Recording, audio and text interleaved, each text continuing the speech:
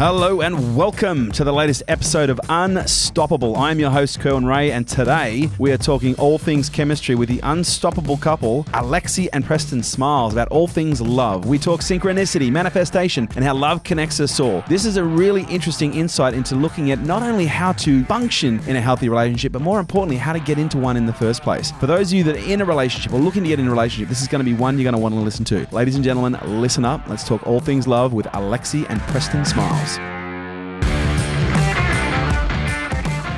Now, I, do I add the smiles on there? Because I know you guys are keeping there's a little bit of separation in, in your in the way that you guys have come together. You guys got married recently, is We, that right? We're two years in marriage. We've got a baby. So we're like offi- officially adulting now, You're officially a conscious family now, not just a conscious couple. which is huge. That's like Yeah. a whole paradigm change in and of itself. A lot of people are like couple goals, relationship goals, Yeah. conscious coupling. But truthfully, what we have found is the rubber meets the road when you bring in a third party that's Oh a my child. God. And like that's when all of our work really got put Yeah. to the test. or if you have a, like a polyamorous relationship, That might be another version of that. or add a dog or something. It's a third party in the relationship shifts everything, but a baby for real, for real. Yeah, because with with babies, like they they add this additional element to the relationship whereby they have their own function to be able to push buttons like dogs can't. Like a, Yeah. a Yeah. dog can push your buttons, but Yeah. a baby, You can train a dog. you can train a dog. you can even train it. Yeah, I can- you know what they said the difference between kids and terrorists.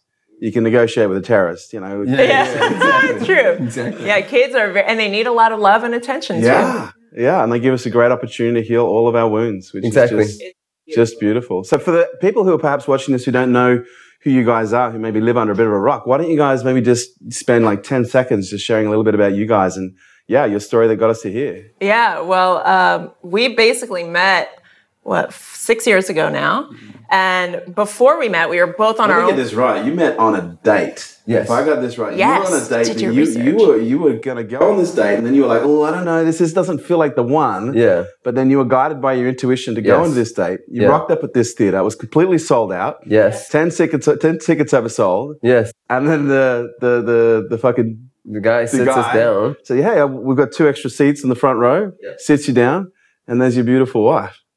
Life changed forever. It's like straight up like a movie. I, I think a lot of us, especially those who aren't in relationships that they would call, you know, uh, twin flame or like soulmate relationships, um, would would say like, ah, does that really exist, right? Because that was the conversation I was in most of my life. Like, ah, love schmov, like, yeah, but like, is it really like love at first sight? And like, for me, the moment I met her, it was like an instantaneous knowing that this is the woman I'm going to spend the rest of my life with, that I'm going to raise conscious children with, that I'm Yeah, going to go on adventures with. And it just like hit me on the deepest level. And Like, is this on the, the moment you laid eyes Yes. on, on her? Yep. Wow. And you're thinking, whoa, stalker. Like, he's, he's ready. What's interesting is like, go back what two weeks? Yeah. I was in London with a guy I was seeing at the time, seeing if it was something he was like wanting to have it be serious, and I was like, nah, let me see, because it Okay. wasn't. He was perfect on paper, great guy, but something wasn't a hell yes for me. Yeah, right. So he invited me to this guy's trip in London to see a football game. And I met one of his friends who happened to be his roommate and college buddy. And this guy was like, You're the female version of him. Wow. And I'm like, Oh, cool. What's he do? And he tells me about what he's up to. And he's like, You guys got to work together. Let me put you in a Facebook message. Mm-hmm. Puts us in a Facebook message. I'm not great at checking my Facebook messages. He responds back and thinks I live in London. Because this guy's like, Yo, I met this girl in London. She's amazing. You got to connect. Yeah, right. So he's like, yo, let me know when you're in LA next and we'll meet up. So when I met him in person, it was this context of work for me. Okay. Where I was like, yeah, let's link up. Let's see how we can partner together. You know, I was like business, business, business all day. And we met up for coffee for a business meeting. In my book, it was a date for him. He's Is like, this before or after the, the, the concert where that happened? Where that went no, down? this is after. This so is after. So we that met was at, serendipitous. yeah, so we met Wow. two weeks later in Okay. person. He's like, Alexi from London. That's how I knew. Yeah. Like so it was like I saw her Facebook, you know, and had this context of this girl I'm supposed to work with. And uh, when I saw her Facebook, I'm like, wow, she's gorgeous. She's doing work in Africa. She's into personal development. Awesome. However, whoever I'm going to date and marry is not going to live in London. They're going to live where I live. And so I immediately her, took her kind of out of that conversation and just was like, Hey, yeah, if you're ever in LA, hit me up. Yeah. You know, and then two weeks later to have that intuition to go on this date that I felt like I didn't want to go on Yeah. and get there and see her, it all was like the universe. Here's the thing synchronicity is always happening, right? It's just a matter of our receptivity to the, you know, the, the unknown, that which is beyond what the human brain can cognize. And so in a, in that moment, my brain was able to cognize that the universe, God, Buddha, Allah, Krishna, whatever name is most potent for anybody who does that thing, whatever that was, was moving ahead of me. And it was listening. Right. And so, cause I had asked, I had said, and, and here's the, the really awesome part about manifestation. And I think all of us will, will attest to this. There's been times where you just go, Oh yeah, I want to do that one day. And you let it go and you don't, "Ugh, I gotta do it one day. I gotta have it. And you're not so Attached. focused on it's not here yet. You just choose it and then you go back to life. Let it go. Yes. And so for me, I had chosen that it was time for me to meet my one and then I let it go. And a couple Voila. weeks later, she wa- like I walk in and sit next to her and I'm like, shut up, God. yes. Let's do- Buddha. Yes. Whatever, all of them. Yes. Spirit guides, thank you. Yeah. Spirit fingers all around. Yeah. Oh yeah. So what's what's the backgrounds like? What obviously work work brought you guys together. You guys are on a similar path. Yeah. Yes. Like, what are your backgrounds? Well, we both kind of have these like insane backgrounds. Um, I started at a young age in personal development, eight years old, listening to Marianne Williamson, Tony Robbins Wow. through my mom. Okay, thanks, mom. Yeah, thanks, Yeah. mom. And went to my first Tony event at 16, completed landmark education at 18, and um, actually was in the music industry and singing on stage with Ja Rule and signed to Murder Inc. and did a whole world tour before the age of 20 years old and on multi-platinum albums. Wow. So I had like this whole Is this is a singer? as a singer. Yeah, right. I opened up for for Ja Rule, which is insane, and a whole other section of my life yeah. and quickly realized that this mediocre kind of rise to fame and fortune and seeing behind the scenes of that lifestyle, I got clear really quickly that that's not necessarily what I wanted Yeah, or in that context. So I kind of pulled back, started a nonprofit organization, realized I wanted to be a giver instead of a taker, went to Africa, started drilling wells out there, got back into entertainment, doing television and modeling. That did really well. That supported my nonprofit efforts, still doing personal development that whole time. And within that space, I recognized that I was using personal development for success and achievement and like killing it and doing really well.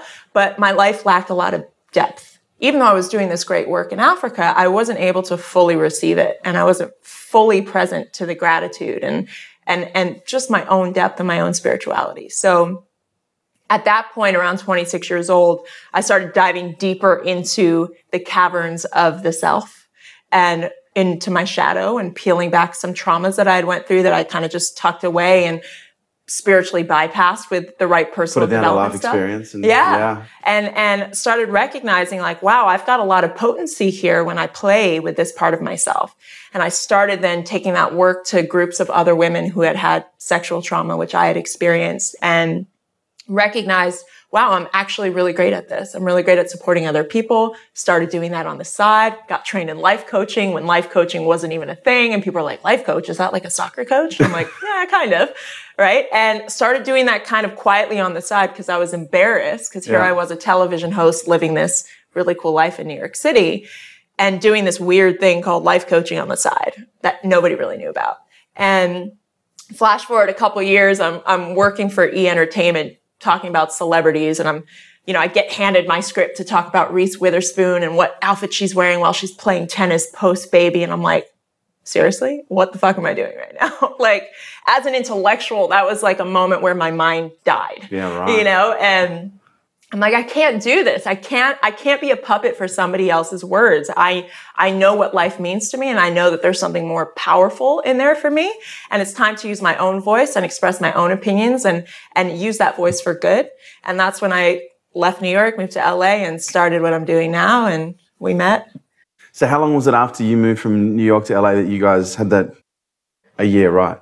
And so what's your background, Preston? Yeah, for me, mine is a lot different. Uh, I grew up uh, in LA, and um, my mom very early had a conversation with my dad about me not being a normal child, a normal baby. And um, So you've been super, identified superhuman early. Yes. Yeah. um, but not in that way yet. Um, so, uh, you know, hmm, everybody who has children, you know, you, you want to make sure and you want to protect your kid. And so my mom and dad began to argue about whether I was uh, mentally all there. And, and eventually they got me tested. And, um, you know, the test basically said that I was a genius in some areas and almost brain dead in others. And, uh, you know, I ended up in special education classes Okay. um, after being a normal kid and being in the regular classes, I was taken out of those classes and put in classes with kids that were drooling on themselves and like playing with blocks. And in my, you know, seven, eight year old mind, these were the retarded kids. And so if I'm in class with the retarded kids, then I must therefore be retarded. And for those of you who are offended by that word, I'm not speaking from the 37 year old consciousness. I'm th- speaking from the, the eight-year-old boy. the seven, eight year old kid who was thinking that. And so, uh, I made up a story about myself that I was dumb, that I was less than, that I wasn't as smart as everyone else. And so I began to seek approval outside of myself. And by the time I was 11, I joined a gang. I started smoking weed. Uh, by the time I was 15, I had stolen from every liquor store in, you know, a 10 mile radius. I was fighting. I was spray painting. Um, I was a leader, but not the kind that you would call a, a, a Lord of the Flies kind of. yeah, yeah. I was, I was a different kind of leader. Leader of the resistance. Yes. and uh, when I was 15 and a half, a friend of mine got, got shot and killed. And that was the biggest wake up catalyst moment of my life at that moment. And, and I moved across country to a place uh, where there, I was the only black male in the entire school. And I became like this cool, like alien that everybody wanted to hang out with and quickly joined a new gang called Wexford Mafia, which was comprised of a bunch of rich white kids with BMWs and Mercedes. and I had a moment um, headed to a party while we were drinking, smoking, listening to Tupac, Outkast, and Biggie. I had a moment that hit me so hard and it literally shifted tra- the trajectory of my life because I, I saw that the kids at my former school were doing that and going to jail and the kids at this new school who happened to be Caucasian were doing it and they were going to Yale and they were they were going to Harvard and they were it, it, it was the same exact thing. The same exact media doing the same exact thing. However based on the uh, environmental psychology which I didn't necessarily understand and expectation one group was having a certain experience and another was having a different one. And so for me, I then recognized at 15 and a half that underneath all of the stories that we have about each other, uh, that love is our truth and that we are more connected and more alike than we'd like to admit. And that sent me off on a path to going to college and I cheated my way all through college. And I'm actually, uh, for a long time, I wouldn't share that. I cheated the whole way through because although, um, although I had gotten bigger and I looked like a man, I, the little seven year old who believed he was dumb, stupid, and less than was still, that wound and that trauma and that paradigm and that worldview was still running my life. And so no matter how well I did, I never thought I would study my ass off and then I would cheat because I had to win the game. Right? So the, imp- I had this mask on. And then I went to graduate school and I said, I'm not going to cheat. I'm going to see what happens. And it was a three year program and only two people graduated with a 4.0. That means straight A's the whole way through. And I was one of those people. And that was, yes, that was one of those moments for me where I was like, I'm not stupid. Yeah. I actually have genius. How in old me. were you when you had that moment? I was 24. Wow. I was 23 when I had that moment. Exactly. Mm. And then, and I'm finishing the story here. At 25, I moved to back to LA. I became an actor. Uh, I was modeling. I got on the show Entourage for a season, and No. like, yeah, yeah. You feel like Yeah, now I need to watch it Oh, come on. Which which season? Season six. I, I was um, Lloyd's assistant. When so you Lloyd, see it, Oh, he looks like, like- a different human. yeah. I, I, I think I can put it together. Yeah, Yeah. so Lloyd became an agent, What? and then I became Lloyd's assistant, right? So there's, Yeah, and I was on a bunch of other shows and stuff like that. well done, Entourage. That's that's epic. It was interesting yeah. for sure, and and uh, I got sick. I had a heart condition come up, and What was uh, the heart condition? uh, they still don't know what to say other than I was going to take pills for the rest of my life. Okay. And because it was in my family, meaning my grandmother and even my dad's heart beats at 20% right now, because there were so many people in my family who had had heart failure and died, it was this thing where it was like, okay, you're going to need to be on pills from 25 till you, until we can figure yeah. it out, right? And so uh, the doctor, and I'm finishing the story here. That, that doctor said uh, he asked me two questions. The cardiologist. He said, "What are your stress levels, and what's your diet like?" And I said, "Well, what's a stress level?" So I'm 25. I don't really understand what you're saying. And he said, "Tell me about your life." And I said, "Well, some people in my family are addicted to drugs and uh, struggling, and I love them so much. And my whole life, I felt like I needed to make it so I can save them so they won't die." And he said, and you've been doing this your whole life? And I said, absolutely. He said, well, that's, that would be a stressful life. I said, okay, I didn't know that, but awesome. And then he said, what do you eat? And I said, I eat food. And he said, tell me about food. And I said, McDonald's, Burger King, I drink beer, I smoke weed, I like, uh, I, I just like went down the list, you know, I'm j- cow's milk every day, cereal, you know, sloppy joes, hot dogs, like, you know, Wendy's, all the fast food stuff. And he said, young man, that's not food. And I remember this clear as day because I was like, what are you talking about? It's food. It's on the commercials. Yeah. My mom eats it. My dad eats it. Everybody I know eats it. There's nothing other than that. It's food. I eat this thing every single day since I was born. So, like, what are you talking about? And he said, you know, as a doctor, I got to give you these pills and I got to tell you that you need to do this. As a father and as a concerned citizen, I suggest that you look into your diet. Well, that was the catalyst that broke this whole thing open, and it's why I stand here today. Because I went back home broken, afraid, like, like what the hell? I'm 25, I don't want to die. My girlfriend at the time, her mother said, Preston, I know you don't read, but I heard uh, because of the dyslexia, because I'm also dyslexic. She said, but I, I got this book by Jerry and Esther Hicks called Ask and It Is Given. And I just think if you just read a little bit of it, it'll, you know, maybe it'll help.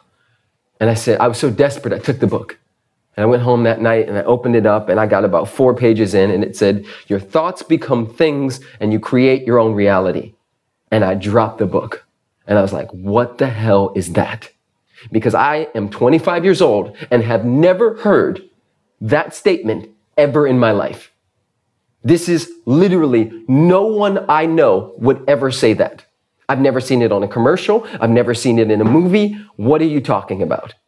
And I start looking and I found this movie called Zeitgeist and it's conspiracy theory and all that stuff. And then, and then I became an angry vegan. Unraveled. Yeah. Oh, yeah. the rabbit Yeah, yeah. unfolded. I became an angry vegan. I denounced my religion. I became that person in the Angry friend vegan group. conspiracy theories. Yeah. The whole thing. I like went nuts. And in that, I realized the Buddha quote that uh, you will not be punished for your anger, but by it, because I was still angry.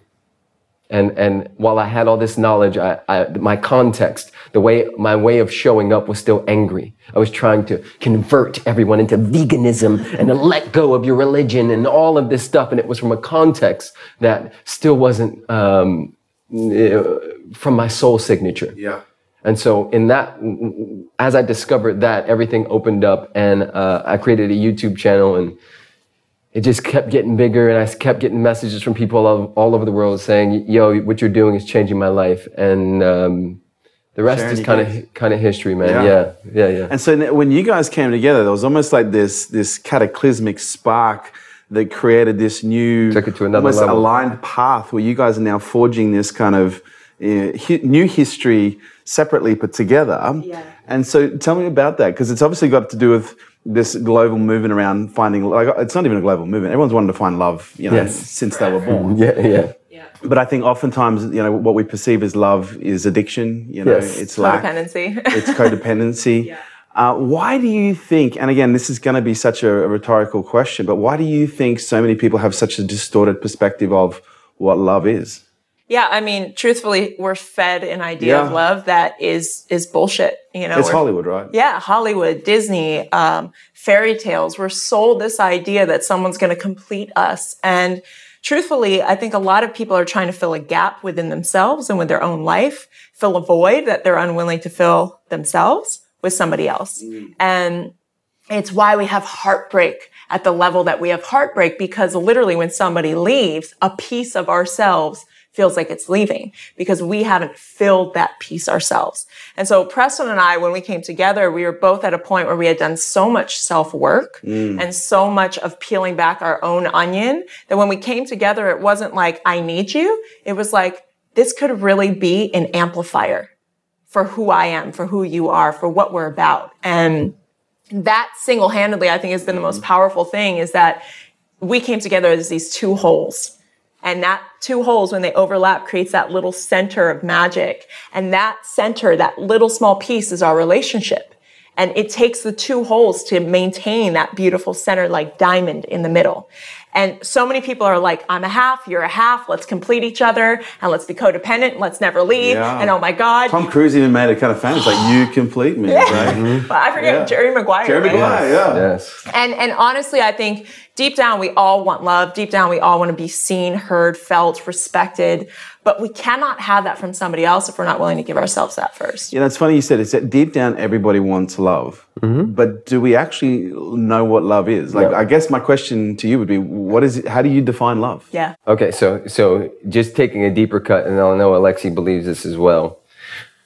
So it's hol- there, so chicken or egg, right? So there's Hollywood, and then there's parenting, right? And and the way that parenting has existed for the let's say last hundred years is, or even longer, is you get my love as long as you're doing what I perceive to be a good little boy or a good little girl. Well behaved. The Yes. conditional agreement. Exactly. So our fundamental, the place where we start, where our brain is actually making mental maps about the world and how we uh, interact with each other, at that level, we are receiving messaging that says love is conditional Yeah. Transactional. you get this if you get good grades, don't mess up and you know are respectful to da da da da. Don't cry too much. Don't beg too much for that milk, little boy, little girl. Like there's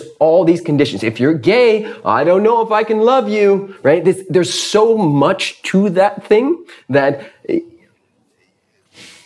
we are in the midst of a gigantic paradigm shift around how we even be with each other. And, and here's the thing I'm not in any way proposing that there's a way not to be. So unconditional, I don't know if I necessarily completely believe in it as, as like unrefutable law. Like someone can be unconditionally loving forever, right? I think that there are conditions, right? We got married and there are conditions to that marriage, right? Who she married, there's a condition to that Preston. But do you think that conditioning, that, that requirement for those conditions to be met, really are in line with the consciousness of the individuals that are in that relationship? Yes. Yeah, it's, know- it's a conscious agreement Yeah. based on the level of consciousness that's brought to the table. Yes. Right? So we believe that love is unconditional, love in and of itself, Yeah. but relationships are very conditional. Yeah. Yes. Very conditional. And and even the smallest things like, do I love this man? Yes. Is that love unconditional? Yes. Is our relationship conditional and based on agreements that we mutually make together? Of course. Of course. How important are those agreements to be conscious, though? Because do you think that's oftentimes where we get into conflict, is where we have Yes. our conditions? yes. Because it's from our wounds. Yeah. So a lot of a lot of the conditions for relationships are based on our wounds, are based on our programming. like, you right? can't do this because it'll hurt me. Yes. Yeah. So, so in our work, we teach that you know there are four aspects of the human being, right? So there's um, the social and historical, which means we were born into beliefs and interpretations, right? So that's that's one.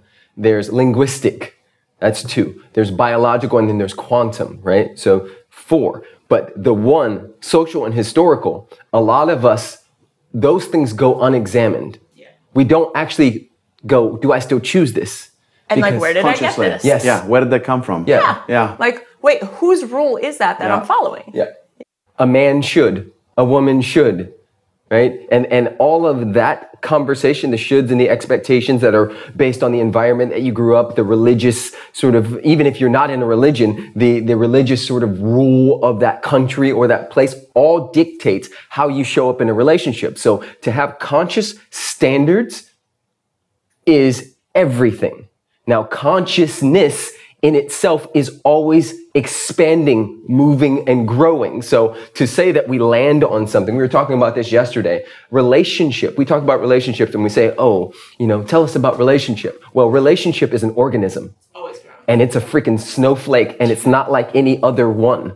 Yes, there are aspects because we come in these human shells that are similar. However, there is not one single relationship that is the same as the other one. Including the relationship that we were in yesterday. Yes. So, like, this is so true for us because we're constantly in our own work and we're constantly looking into and investigating our own consciousness. Yes. Then our agreements shift because our own consciousness is deepening. If I'm recognizing, like, oh shit, I have a pattern that's been playing out that I'm just acknowledging right now.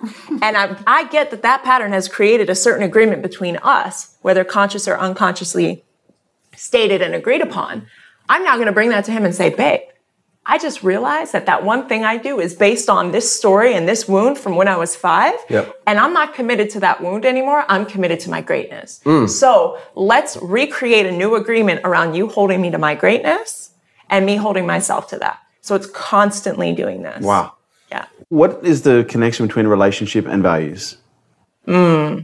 This is interesting because I don't know if we'd have the same answer on this because P's got a little different take on values. But for me, values shift as well. And this this is one thing that I think a lot of people in personal development are like your values are your values and da da da. For for us, I know we believe that there's the values that actually run your life that most people wouldn't actually acknowledge are their values, like comfort, you know, um, certainty, uh, like dependability. A lot of people safe. But when we start getting into some of the the, the, the, the, aspects of relationships where we bring up the wounds within each other, a lot, a lot of those conditions, wouldn't you agree, are rooted in values. They're rooted in the experience that we've been up, brought up, brought up with to either deem as important or not important.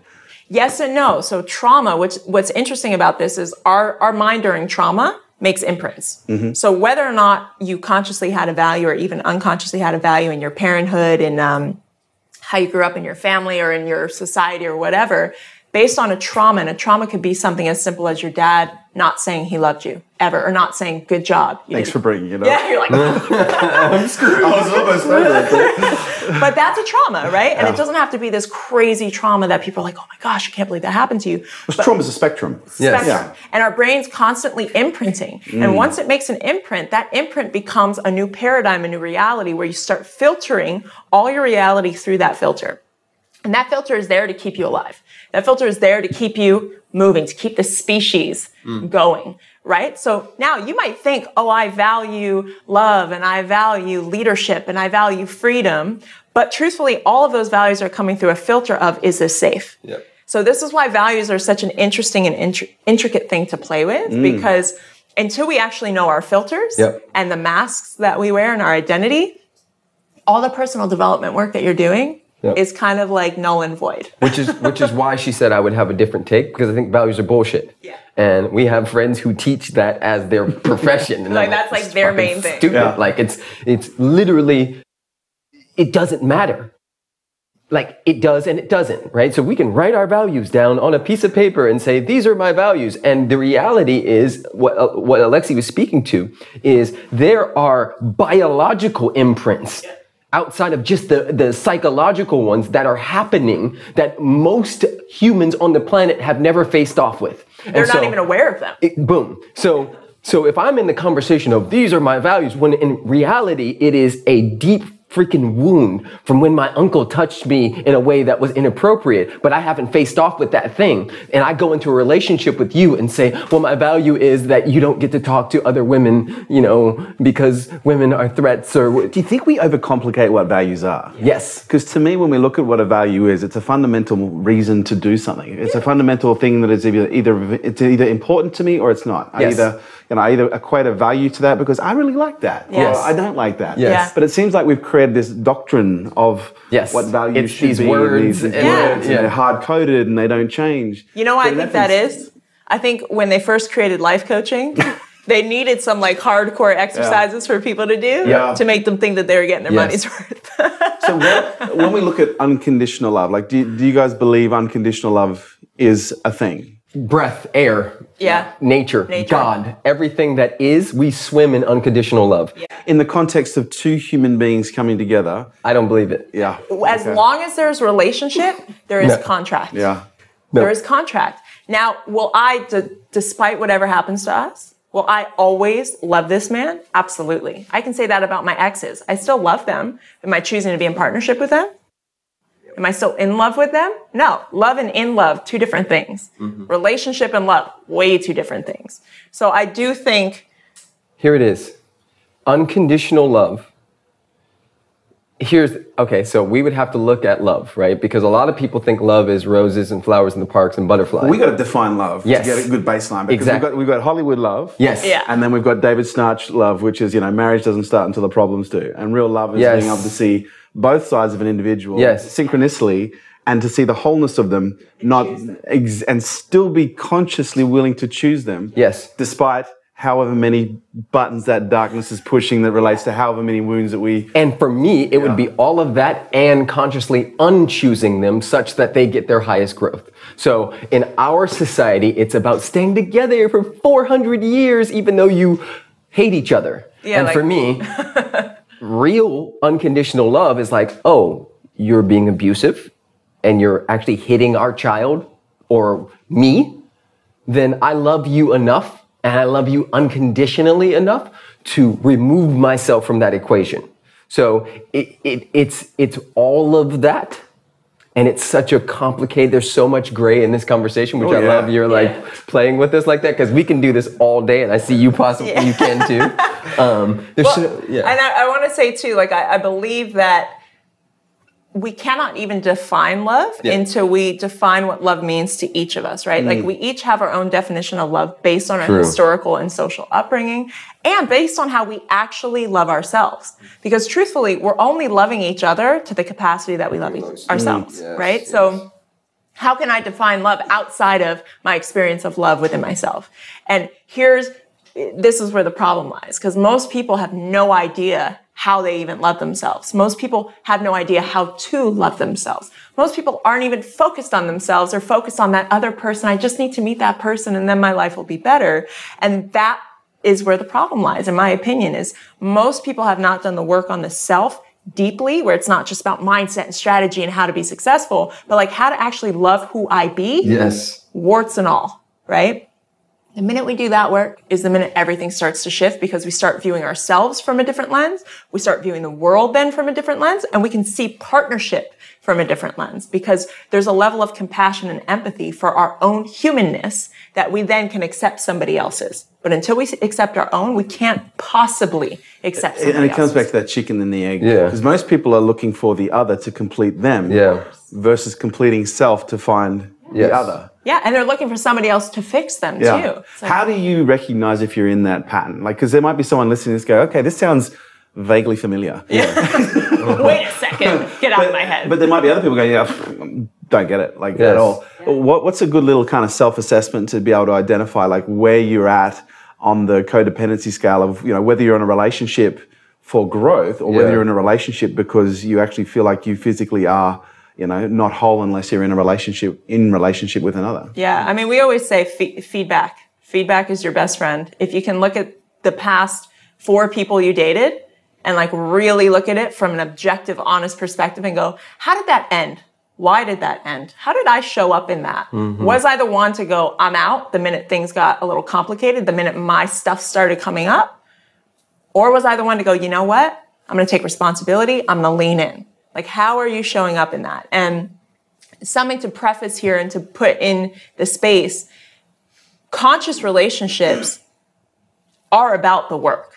You know, a lot of people have this idea like, oh, if I meet the right person, it'll just be easy. It shouldn't be And work. just as a side note, and that includes self. Yes, Yeah. 100%. Self work, self work, self work. always Yeah. right but but especially when you meet somebody who's a conscious individual you know everyone's like conscious couples relationship goals hashtag this is what i'm after. Is it though? Because a lot of people the minute you get with a conscious partner they're going to oh. hold a mirror up to oh. you. Oh, it's, and and it's painful. oh. Yeah, and they're not going to let you run. And they're not Yeah. going to let you manipulate. And they're not going to let you bullshit yourself. Yeah. and i have been in relationships that have not been conscious and they're easier because i can get away with more Just blame. You can just, oh, it's her fault. It's his fault. Here's the thing I, i can want. manipulate you know it's I so want to add to this conversation about that like barometer, right? So a, a question I'm constantly sitting in and challenging myself to is not needing Alexi to be different in order for me to experience my own joy, my own personal freedom. So if you're in a relationship that is dependent on that person acting in a particular way or saying a particular thing or doing a particular thing in order for you to feel good about you, then you're probably going to need to reassess. yeah And just going to the conversation of, you know, well, then should I get out? No, no. The work is in relationships and out of relationships. All of this could happen in one. Yeah. This is not the, the it can time to go. accelerate in one. Exactly. You can take it to a whole nother level. That's- like relationships really are like accelerators for growth. The best everything. personal Yeah. development workshop Yeah. you could ever take. And kids, when you add a kid into the mix, it's just a mm-hmm, yeah. rocket fuel. yeah, yeah. but this is a great question because you know there's three levels of relationship. There's dependent, Yeah. Where you're codependent on each other and you complete me and I need you to you to do this to make me happy. Then there's independent where you have two people who are like, oh, I'm good, I'm good. You d- you kind of cross over on Mm-hmm. sex and like hanging out, but you're not really playing together and interweaving your lives together. Mm-hmm. That's interdependent where you're like really playing in that space of like, let's dance together. Like, yes, I'm independent. Yes, I'm a whole soul being, but let's see what happens when we like Yep. merge our energies. And I think a lot of people are in that dependent phase where they're like, right? And then they go, well, I need to just be independent. And then they go into this fierce freedom thing where it's like, well, I, I've been codependent. Now I need to just decide who I am. I need to go and do my own thing. We need to take time apart. I need to be by myself, right? Versus let me see who I can be in relationship as a whole soul being, completing and fulfilling all my own needs, but also playing in the space of saying, I want to see what I can do for you too, as a gift. And it is absolutely absolutely okay to be a mess while in all of that. Yeah. Because I think that Relationships are messy. they're super oh, messy. And I think this is one of the challenges that we have with like relationship ideals and parenting ideals. yes, Like relationships are messy. They're loud. Kids are loud. They're messy. Buggers, poop, like just But mad I think it's tantrums. this, you know, it's this expectation that it's not supposed to be messy. It's That's- supposed to be it. fairy tale that I think creates heart, you know, a lot of the issues that we're dealing it's with. that's exactly why I put that in there because I could hear someone else's brain listening to this going, "Oh, well, well then I'll, you know, do it elegantly." And like sometimes you're tripping, you're falling, it's messy, it's nasty, it Yeah. doesn't feel good, and that is where so so what imprisons us also points to our freedom. And every single time that we find an area, both Alexi and I are relentless about finding those areas where we're still hiding out because we know that that literally is the golden ticket to our personal freedom and to up leveling, not to try to fix because I was never broken. I'm perfect, whole, and complete, but not finished. I'm in a process, and that process is so freaking beautiful when you let go of the idea of it needing to look a certain way and feel a certain way because looking and feeling is what we came here for. That is the isness. That's the juice. That's the power of life, right? Yeah. And we find those areas to like go into Yeah. mostly when we're in conflict. Yep. Like, hear that for Yeah. whoever's listening. But, Those- but how, but how important is that as a life rule? It's in conflict that we find these Yes. things. The struggle but makes it's, it's, us. it, it's failure is the key. Like whether it be in uh, business, whether it be in Yep. the gym, whether it be in a relationship. The goal is to find that point where it doesn't work anymore. That's it. And failure in and of itself has been the thing that has tripped most people up because it's the fear of failure. Yeah. But if we just reframe, And even reframe, labeling failure is wrong. Like we're taught that failure is bad. so we need to reframe Yeah. it. Like for us, failure is feedback and feedback gets us one step closer. And if I have more feedback, I'm 10 steps closer. Yeah. Right? Versus the person sitting on the sidelines going, we should really, we should try this, or maybe I should do this, or, and you're not actually getting real life mm. feedback, nothing's changing. failure is a poor teacher. Yeah. We have become a society of control freaks. yes. and and it goes back to that conversation around so so failure is attached to little jimmy doing little jimmy and and this happened to me as a child uh, one of my first basketball games they they tipped the ball in the air and i got the ball and i went to the opposite direction and i scored a point for the other team and I laugh because that's, that was my very first rugby union game. Yes, Yeah. yes. And that, a trauma like that, and the disappointment of your father and, and everybody in the crowd can be the thing that would have someone, and it did, it literally affected me, and it has affected me for a long time. It would have somebody attempting to control everything they possibly can so they never disappoint ever again. And so we have a whole society of people who have had an experience where they didn't get the grades their parents wanted them to get, or they did, they made a stupid mistake, or they cursed, or they were singing too loud when mom just got fired from her job and she said, turn, the little kids are better seen than heard. Right? And moments like that become our whole life.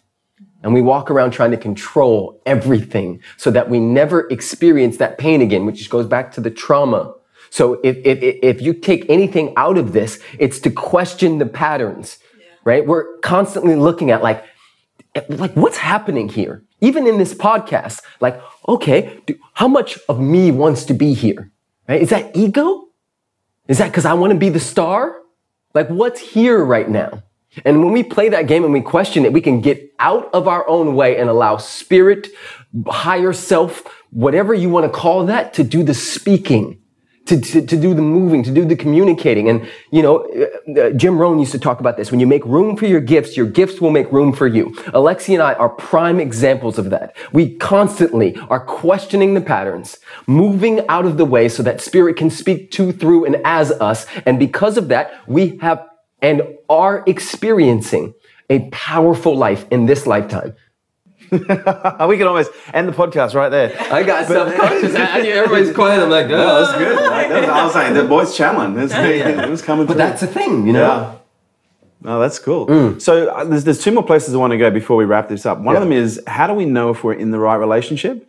And then we'll move on to the one and the many. But let's, because some people are listening to this, they're going to be in a relationship and they're going to be going, you know, am I in the right relationship? And then there's going to be the other half of people going, I'm not in a relationship. How do Yeah. I find that one? So let's start with the people who are in a relationship. Because one of the things you said, like if you realize that relationship isn't bad, that doesn't mean you go, oh, okay, I'm out. I'll go and try and find another one. Yeah. Yeah. It's just an indicator to do some work. Yes. Yeah, because truth is, if you're like, I'm out, I'm going to go find another one that's Yeah. better, the same patterns Pattern are going to will show up. repeat, yeah. Yeah. And so I think for us, that question is so nuanced, right? Every relationship is so different. If there's physical harm involved or somebody's safety is at risk, it's not the right relationship. And you got to love yourself enough to move out. Now, if there's no physical harm or no one's safety is at risk, but your ego's at risk, that's the right one right now. How do we know? Based on results. It's here, right? And Preston and I believe that everything that's here for us is a teacher. So if you're in a current relationship where you're up against your shit, where you you feel like you're like this, there is something within you that needs some work. There is a level within yourself that gets to be looked at. There's something that needs to be questioned. And for Preston and I, if we're like working with a couple and they're in it, we say, go 30 days harder than you've ever gone before. Commit again, right? Look deeply at all the things that person is doing right. Look deeply at all the things and all the ways that you could be doing better. You could be showing up differently. You could be acknowledging more. 30 days of fully going in mm-hmm. instead of pulling out. Because most people are like, if they're questioning, should I be in this relationship? They're already out. Yep. They're one foot out the door already. And of course, you're going to see more stuff that's not working because you're already looking for it. Yep. So we say go 30 days all in. Like go fucking hard, go all in so that by the time those 30 days are up, if you're like, mm, yeah, no, I'm good, then you know. Yeah. Then at least you've given it 100%. Yeah, it- what she said. I'll just add that um, one of our teachers is probably the best in the world in the relationship space. Uh, his name is John Gottman, and Yeah, they got them there. Yes. Amazing. And one of the things that they talk about is the difference between solvable and perpetual problems. And I think that a lot of couples have a lot of perpetual problems that they think their relationship is broken because of those things. Because they haven't been able to solve them yet, Yes. but they're unsolvable. And this is what Gottman talks about. Yeah, so so for us having that distinction, right? Because distinctions open up new worlds for us. The moment we have a distinction called door, then we have a new possibility. And the distinction of understanding the difference between a solvable issue versus a perpetual one can really be a game changer because then you can surrender to, oh, okay. So and a prime example of this would be Alexi grew up and had some certain traumas. And those traumas caused her to not want to leave the windows open and the doors open while we sleep at night. Well, I grew up the exact opposite way, where I leave everything open and I'm just captain, trust everything. And so this is going to be a perpetual thing for the rest of our lives. And so instead of me punishing her or saying, well, what's wrong with your paradigm and your worldview? You need to be fixed, right? and her saying the same about me, you freaking hippie boho, like, you know, that kind of thing. We can now surrender into, oh, that's just a perpetual thing. Like, oh, it's, it's all good. Like, I, oh, will. I'll meet you right there. And like- then do I choose that? Yeah. Yeah. Like, do I choose that? Because the truth is, and it's, I forget the exact number, This but kind of it's, solves solves the age old problem of the seat up, the seat down. Yeah. Like, we could literally just remove all yes. friction from every relationship the whole ever thing. moving Yeah, forward. socks on the floor, Yeah. cupboards open, Yeah. all the things. Does it really matter? Does it really Yeah. matter? And you know, it's it's one of those things. Pick your battles, Yeah. but understanding that some battles are going to be lifelong battles, and if you choose to pick that as your battle, your relationship's going to suffer. and you'll have plenty to battle about every day. Exactly. And, and Gottman says it's something over like 70% of problems in a relationship are perpetual unsolvable problems. Yeah, right. So if we actually just get that and go, is there a middle ground here that we can work on? If there's not, do I choose it? Yep. Do I want to be right or do I want to be happy? Yeah. Yeah, and do yeah. I choose who you be now with nothing changing? Yeah. Yes. And if I can choose that, great, then I can know I've chosen this Yeah. And I'm cool because I've chosen it. You know, and I think a lot of us in the beginning of a relationship, we choose the person. We see all the things. We see all the, the red flags, the orange flags, even the green flags. We're looking at all of it, but we're focusing on the green flags because we want to make the person the person because we want relationship, right? People are lonely. They want love. So it's like, I'm going to focus on all the amazing things that Preston is. And then a year in, I'm going to say, Preston's changed. Some things about Preston, no. Preston has always been Preston. My focus has shifted. I've focused from green flags Yes. to now yellow flags. Now add three years to the pot. Mm. Those yellow flags are starting to become a little more orange, right? Where I'm like, That first month, oh, I love the way your nose whistles when you sleep. By year three, it's like, I'm to fucking smother him. Like- I, I need to make this stop right now. exactly. So the one, you know, we often hear it talked about. They've written books about it. They've written movies about it. You know, there's documentaries about it. You know, and you guys are a great example of, you know, two people who have found the one. Uh, I guess the first question is, and I've kind of primed it with uh, that big build up. Like, is the one? Is it a real thing, or is there is there a one that is? And there's a few of them out there. Like, what's your take on this? I'll let you start and then I'll come in. Because where I'm going with this is because Yes. there's the one, like we often have this one and the many concept. I don't know if you've heard of the one and the many. No. But no, when we're with the one, we're thinking about the many. Yeah. And when we're with the many, we're thinking Thinking that about the there's got to be the one. Yes. So, yeah. So, so You always I, want what you can't have, right? yeah, right? Fuck, man. Yeah. We're screwed perpetually. so my belief is that it's the one for now. The one for now. And like if we just really break that down, like that's seven, eight billion people on the planet. And out of that many people, this person is in your space. And when when we let go of time and time meaning success and we start playing in the one for now and now and now then we start to see the miracle that is attraction and the law of magnetism and uh, being used by something maybe greater than ourselves and the beautiful lessons that come out of these uh, soulmate relationships.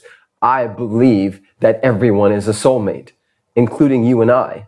And it's how we choose to be with that, whether it be romantic, friendship, or just a one time thing. I've met people once that shifted everything for me.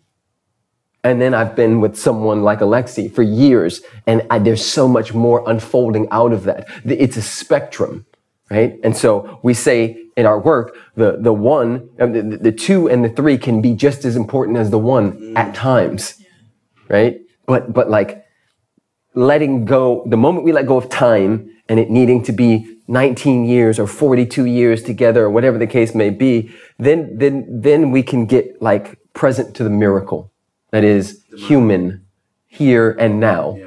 Yeah, and I, I would have answered that the same way. Like everyone is the one. Because with as many people as there are on the planet, the fact that we've come in contact with whoever we've come personally in contact with, Yeah. that's a miracle. And there's something there for us. Again, anything that's in front of us is a gift. Yeah. Right? And when you when we're married, you know, we've put real life constructs around this one present moment that we had. And the reason we did that is because we recognize that together we are amplifying, right? And I'm powerful by myself. Preston's powerful by himself. But together we know that we hold a certain medicine that happens to trigger the shit out of each other in certain areas and call forth the deepest parts of ourselves that still need work. And we're committed to that within ourselves. So we committed to each other because we recognized a playmate in that. Mm-hmm. We recognize a workout buddy. Do you also recognize the amplification, not just of the energy for the work that needs to be done, but also for the procreative nature of the force that a man and the woman, you know, even Napoleon Hill talked about it in Think and Grow Rich. He Yeah. talked about in chapter 11, the, the law of sex transmutation. Yes.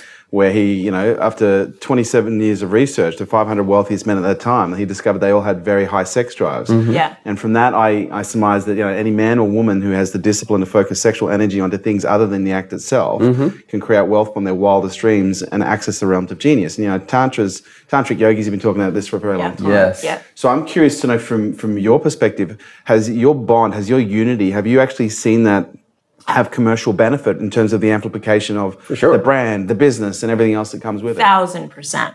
When we came together, our entire business exploded. and everything we do together like Explodes. if i put something on social media and 2000 people like it awesome i put something on social media that has alexi in it that you can triple that thing easily if not quadruple it and so it's i think they were we're in a time where people are needing to believe in conscious partnership mm. and and what we represent and how we go about living our lives and and how transparent we are with the perfectness that is the imperfectness of our relationship.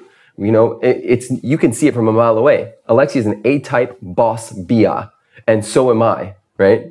And so what do we do with that what do we do with that when both of us are, are can be in our masculine and drive, drive, drive, drive, drive? How do we take one hat off when we work in the same house that we have sex in, that we cook in, that we dance in, that we play in? And like that dance is actually an art, and not many people can do it uh, at the level that we're doing it at. And you know, we've been together five years, but that five years is like 20 years because out of 365 days a year, only seven were not together. And out of those days, maybe an hour or two each day were not together. So you're talking about an amplification of a, we are attached like on a biochemical level as well. Our nervous systems play together. I can feel her when she's not even in the same room. And so we're playing, and it's amplified everything for sure. You know, uh, when one or more are gathered, I am there. I think Jesus said in the Bible, and and I think you know he's talking about uh, feminine and masculine coming together. But then you like take that out a little bit, and like we're staring at the same mountain. Yeah, and and since we've come together, like even our child is a product of that. Like our child is a straight up How love old is- baby. He's five months. Five months. He's So amazing. like we we straight up had sex, and right after we had sex, we're like. That was baby making sex. Like we just made a baby. We literally said it, we lived it. called We're like, that's probably it. yeah. That's we definitely just made a baby. and he's a product of that. Yeah. Like he uh, he is so amplified. People meet him, they're like, whoa. Yeah. Like he's an amplified being. And that is a product of us coming together in our highest truth, in our highest consciousness, in our highest presence, and creating from that space. So whether it's a baby or a business, mm. that's what we're committed to. How do we keep getting out of our own way to be mm. present with what's here to create what's possible? Yes, and just the caveat for everybody listening: we're not special. We are special, and we're not special. We're special because we do the work. Exactly. That's it. Regular humans Yeah. who actually just are so committed, and this is all we do all day, every day. It's what we actually love.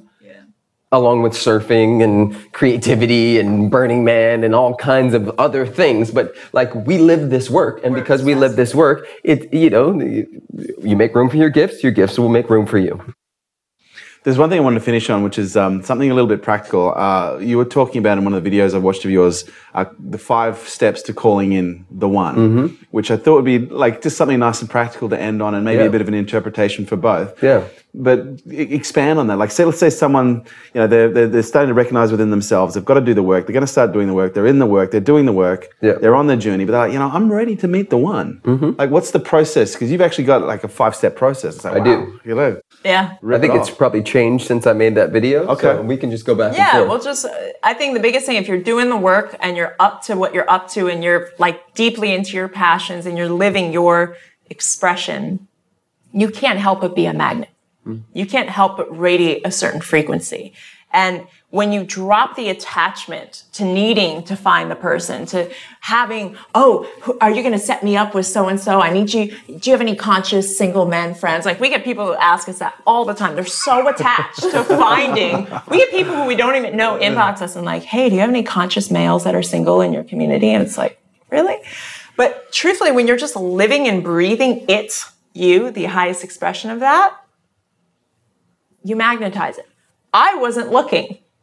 I was committed to living my highest expression of me, living my passion, living my purpose. And it's often when we're not looking when it drops right into our lap. It's like our keys. You ever lost your keys or your cell phone and you're like, where are my, you know, where are Usually my on my head or in my Yeah, exactly. And the minute you give up and you're like, let me just go get a glass of water or go do whatever, they're right there. Mm-hmm. You're like, I look there, right?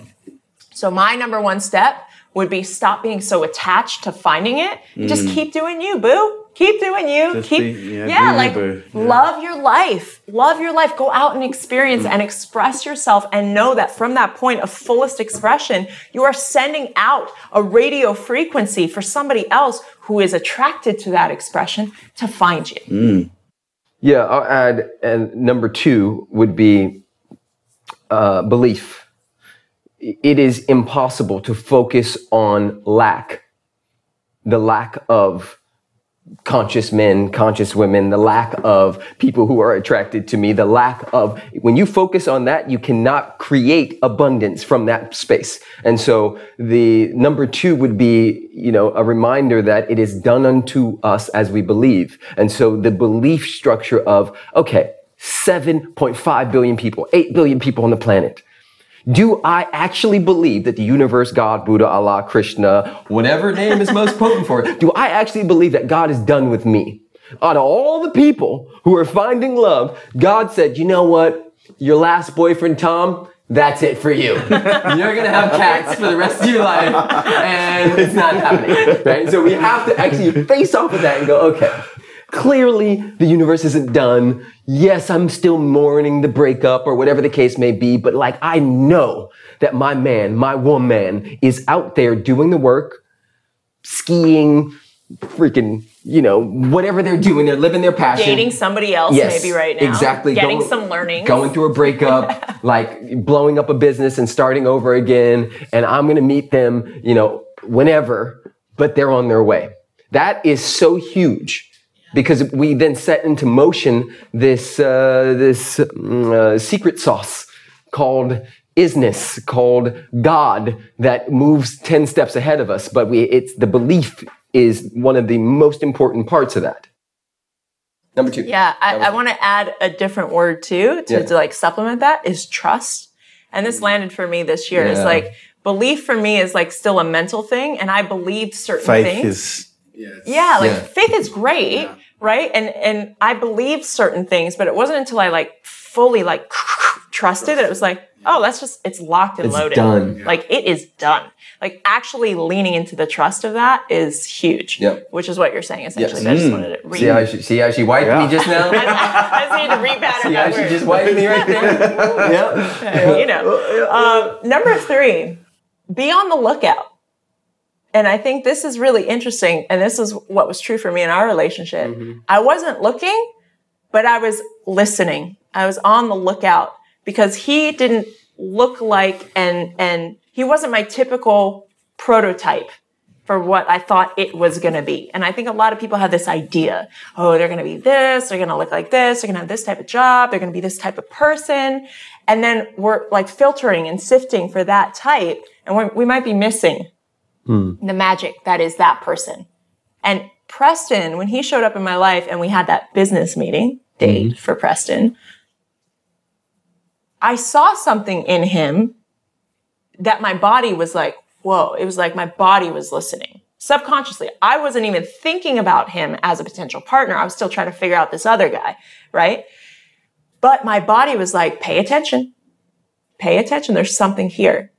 And I remember listening to that. I took about a month to listen to it and we hung out a lot as friends and did a bunch of stuff that we both loved together and totally nerded out on personal development and spirituality. And my body kept going, lean in further, lean in further, even though mentally it didn't make sense. So listening and being on the lookout for what you're not used to looking for mm. is huge because a lot of people have this construct and they can't see outside of the box that they've built for themselves. Yeah. And unfortunately, that's where most of the possibility and the magic of life is. It's outside of what you currently know. It's outside of what you currently understand because to get you anywhere outside of the current box you're living in, you've got to be willing to blow up the box and think outside of it, right? So that would be my number three. Number four uh, of five would be uh, to be conscious and discerning with who you are sharing your energy with sexually. Uh, I think that, and this is just think, this is philosophy. Um, I don't have any scientific proof for this, but there's, I have a belief that when we share our energy with people, when we share uh, our sexual, like the, the thing that can create another being, right? They just the that is one of the most powerful things ever. And when we freely share that with people who are not necessarily swimming in the same vibration, the same place, but we share it because we're lonely, or we share it because we have these urges, and and I think that that can muck up the water, and and you know we want that water to be clear. We want that water to be clean. Um, there's something about being discerning and holding out and trusting that it's coming and and owning your space. And I'm not saying that you don't have sex until it's the one, but you I would say and really lean into does this feel like the two or the three? Right? Because if this feels like the the, the 98, I would suggest not necessarily doing that. 1047. This is the 99 bottles of beer on the wall. 99 bottles of beer. Yeah, yeah. I'll get to the one. I'll get to the one of it. We're just bottles of gonna beer to go go. through this one by one. Yes. so if it feels like the two or the three, and you're like, oh, I may need to date this person. Like the, the, the woman I dated before Alexi, and Alexi knows her. She's a friend of ours. She's amazing. Um, it was that. It was clear. And, and I told her, we talked about it. I said, I'm clear you're not it. And she was like, yeah, I don't think you're it either. And I'm like, okay, but there's something here. And she's like, yeah, there's something here. Okay, well, let's, let's just date and see and be and like not, no pressure. We're both grown ass people. Let's just be in this. And that felt for me, that was like, okay, this is a two moment. This is like, uh, okay, I'm preparing for something here, and whoever the something is or the someone is coming soon. So let me just be present with this right now and learn whatever lessons are in here. And I think that's really important. So Yeah, another way to look at that too, which I always used to tell my girlfriends, it's like the stock market. If you got a stock that's like blown out and like everybody's, you know, it's like being sold to everyone, it's not worth anything. But if you have a stock that's like super high price and Like it's like baseball hard- cards. Yeah, or it's like it's, it's harder to get to. It's worth so much more. And I think so many people are lowering their stock just by like hooking up and doing all the things that the time they meet the actual person, their stock's kind of depleted. Whether this person knows it or not, they know it. Mm. And and there's that lack of that sexual creative fortitude. That energy is real. That is the most powerful energy that we have. We can create freaking human beings with that mm. energy, right? And if we're conserving it and being really cautious and intentional about it, mm-hmm. power. That's like yep, magnetic. Um, number five. yep. Last one, be the type of partner you want. And this is so easy to say, but so hard to do. Mm-hmm. You know, everyone's like, I want someone who's honest. I want someone who has integrity. I want someone who's fun loving. I want somebody who believes in this. And it's like, do you actually live in integrity? Like, are you actually honest in all your agreements with people? are you actually showing up as joy and fun? Like, get real about it. I think a lot of people are living kind of this delusional reality of like, I show up a certain way. And it's like, do you? Like, really, based on feedback, based on the results called your life, based on your last job or your business or your health or your weight, like, are you in integrity? Like, are you actually doing the things that you say you're going to do? Because if you're not even in the smallest area, you can't expect somebody else to. And I think that's such a big thing that a lot of people are unwilling to truly be honest about is how they're showing up. And you can't attract anything other than what you are. Mm. Fantastic. Final thoughts Yeah. On love and relationship. Yeah. What are they? Er, love and relationship. I mean, it's just the greatest playground there is. I think that we all get to keep leaning in. Have you found a new version of unconditional love? What's your son's name? I'm sorry. Kingston. Kingston. What a great name. Yeah. Have you experienced a new form of love with Kingston coming along? Yeah. Oh. Absolutely. we, God. we've He's we- rocked our world. Yep, in the best way possible. Yeah, I was uh, jaywalking uh, across the street uh, with a friend on a very busy street the other day, and it, it took me like ten minutes. And he was like, "Bro, what are you doing? Like, just run between the cars." and I'm like, "I have something else to live for. I have more responsibility. I responsibility will now. definitely Yeah. not put myself in jeopardy." And like that among a million other things, like it's like we've reached into levels of our heart that we never knew existed. And I say this jokingly, but I know it's true. Alexi loves him more than she loves me. It's a different love. It's a different It's love. different. Yeah. It's primal. Yeah. yeah, yeah. It's like I made you. It's Yeah. pure. It is the purest form. and Yeah. same, man. It's like I would, I would easily die for her, but like him, I like. w- I would die and come back for him. Like I, I would Like, come take that back death. here and be like, I would die for her, but I might have to think just for a second. yeah, yeah. There, there, there would be a split There's second. a split second. For him, nah, Yeah. straight in. Hey, man, it's honest, right? Yeah. Yeah, final thoughts on love and relationship for me is um, yes. Say yes. Just yes. It is the most transformative thing. And I think so many people who are like trudging through life as the lone wolf, mm. you're missing out. You're missing out on your greatest expression. It's not, it's not just about this and it's more about what this can activate and like open within you. And that's what makes this so magical. Yep. And I think a lot of people are pulling themselves out of the game or playing the low, oh, I'll do it from over here, disconnected, and I'll just surfacely date because they're afraid of something. They're afraid of truly being seen because they don't actually know what's under under the curtain for themselves. And just say yes to that because it's it's deep and it's messy, but it's also fucking potent and so magical. If people want to find out more about you, where can we go? Yeah, you can Google stalk me online. Google stalk you. Google stock at Oh, stalk. Alexi Panos. Right. So alexipanos.com, at Alexi Panos, Instagram, YouTube, Facebook.